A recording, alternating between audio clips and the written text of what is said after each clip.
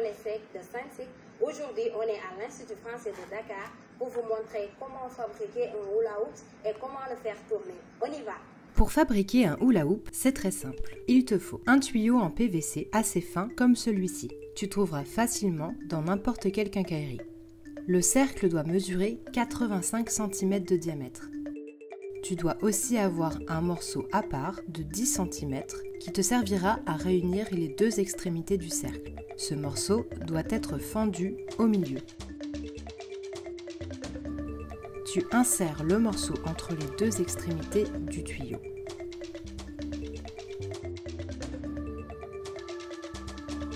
Du scotch noir autour pour bien faire tenir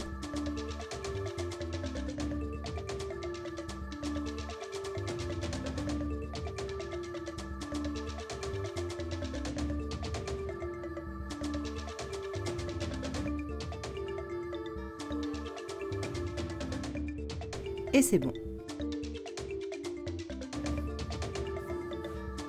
Fais tourner le cerceau sur ta main placée face au sol. Le cerceau doit toujours rester entre le pouce et l'index.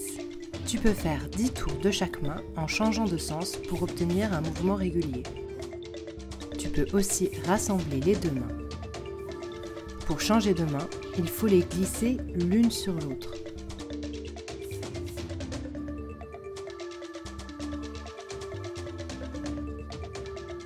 Maintenant, tu vas faire la même chose sur le côté.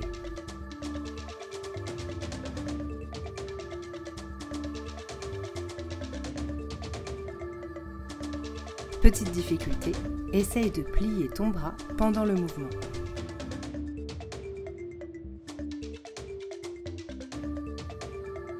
Ramène le cerceau progressivement vers ton biceps.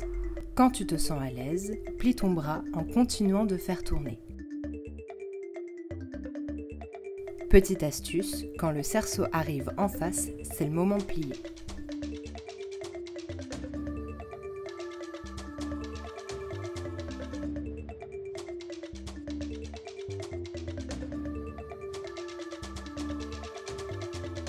Lance ton cerceau en donnant de l'élan.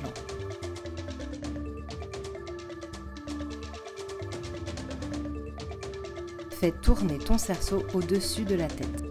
Puis, fais-le descendre sur ton cou.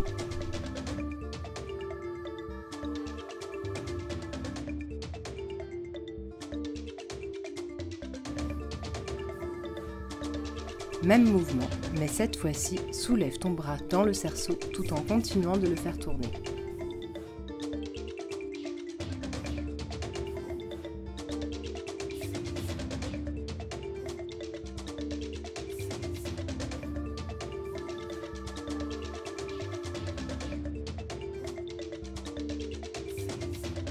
Place le cerceau au niveau de la taille et plus précisément au niveau du nombril.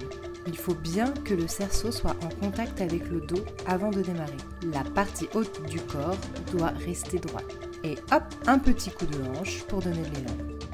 Le mouvement des hanches se fait d'avant en arrière. Garde les bras bien tendus au-dessus du cerceau. Voici une figure originale à tester. L'enchaînement des mouvements se fait uniquement avec la main droite. Pose le cerceau derrière toi. Place ta jambe droite à l'intérieur du cerceau. Tire le cerceau vers l'extérieur pour donner plus de vitesse au mouvement. Tu mets ensuite tout le poids sur la jambe droite, tu lèves et plies la jambe gauche et tu remontes le cerceau pour le faire sortir.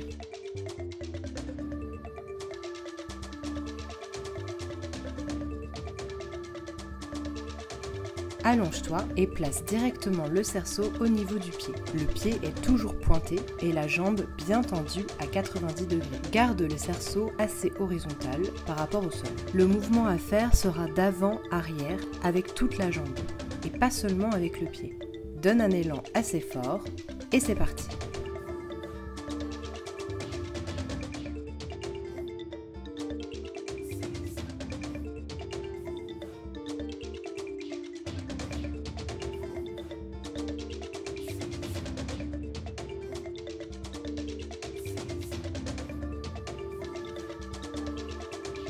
Allez, maintenant, tu peux faire un peu de corde à sauter pour te détendre.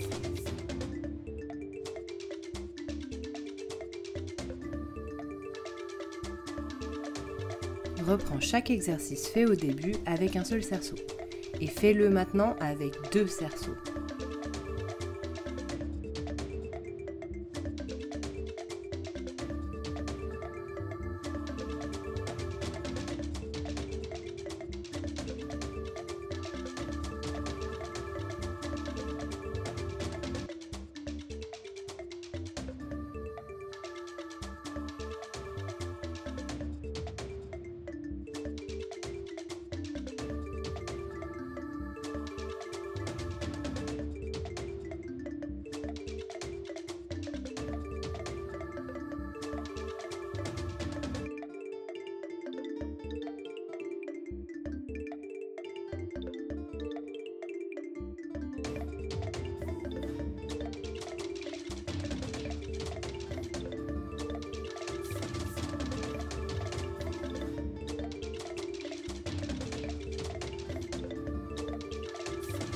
Laisse-toi porter par ton imagination.